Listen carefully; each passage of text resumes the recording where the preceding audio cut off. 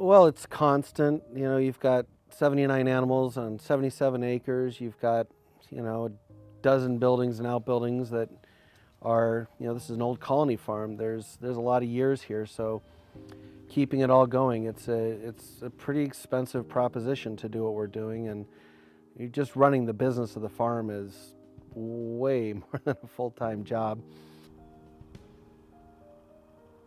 My name is Mark Austin, and I'm the executive director of the Muskox Farm here in Palmer, Alaska.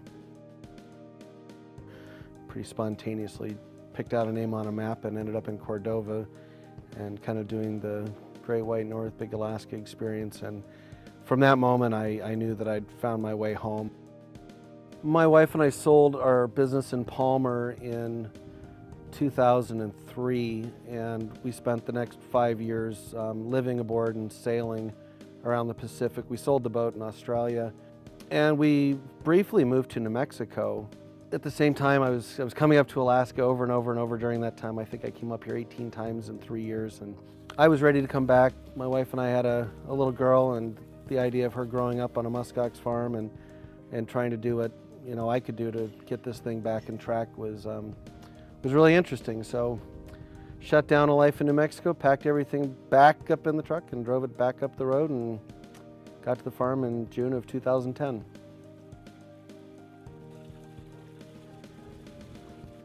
We are a domestication project. We've been, for the last nearly 60 years, we've been in the process of trying to discover if, in fact, we can domesticate a muskox and um, and we've been we've been heading down that road. So I think we're we're on a good tack. It's going to take an awful long time to actually achieve that, and no one's domesticated a large animal in many many thousands of years. So it was a huge question of whether or not it would even be possible. But as far as I know, we are the only project that is actively domesticating muskox to be used in an agricultural manner. Well, our founder was looking at the way life was changing in rural Alaska in the 50s and suddenly there was things that people were purchasing like fuel or snow machines to, to go hunt or rifles. And to do so you needed to somehow inject cash into that and economy which didn't exist. Most, the best way for most people to make money in rural Alaska was to leave rural Alaska. And that was incredibly disruptive to families and traditions. And he hoped very much to find a way that you could have a geographically appropriate animal that would be able to supplement that that lifestyle and allow people to carry on. It's a, it's a huge job. It's, it's a lot of effort goes into this project and our, the herd's just in really in fantastic health right now. It's you know probably 41, 2% larger than when I arrived.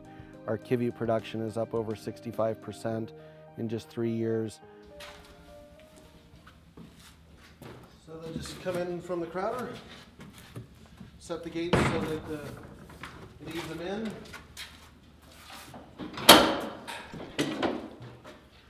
Bring them into a stall.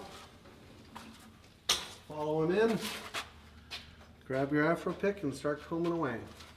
42 million knitters in the country, more knitters than golfers, and I'd say for pretty much most of them, this is the acme of fiber. If you're ever going to have something to work with in your life, even if it's just once, everyone wants to Everyone wants to do something with Qiviut.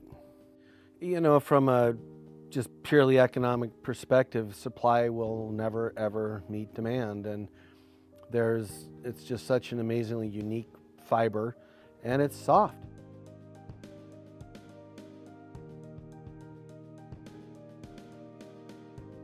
My concern would be that we are just a roadside attraction, that what we're doing here is, is not something that has a lot of benefit.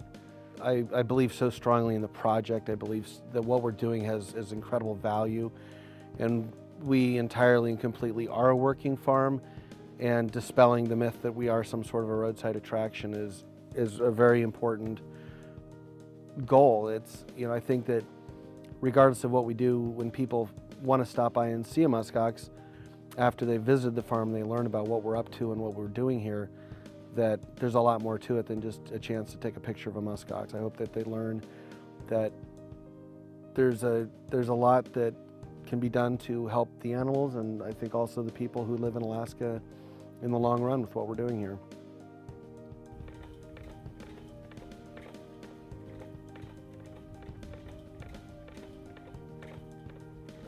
Just your average ox farmer out there farming ox.